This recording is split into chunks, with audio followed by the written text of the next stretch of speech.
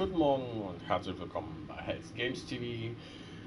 Und ihr erfahrt nun die PlayStation Plus Spiele für den Monat August 2018. Für alle, die es noch nicht mitbekommen haben. Und zwar gibt es ab dem 7.8., also am Dienstag, dann folgende PSN Gratis-Spiele im Store. Und zwar Mafia 3 für die PlayStation 4. Dead by Daylight in der Special Edition, ebenfalls für die PlayStation 4. Das kleine Spielchen Wissen ist Macht für PS4. Dann ausschließlich für PSVR Here They Lie.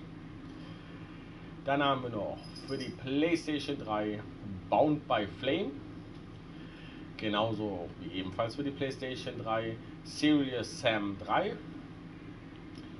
Und für die PlayStation Vita gibt es Draw Slasher und ebenfalls für die PlayStation Vita Space Hulk. So, ich hoffe, alle sind jetzt informiert, die es bisher noch nicht wussten. Und in diesem Sinne wünschen wir euch einen schönen Tag und bye bye.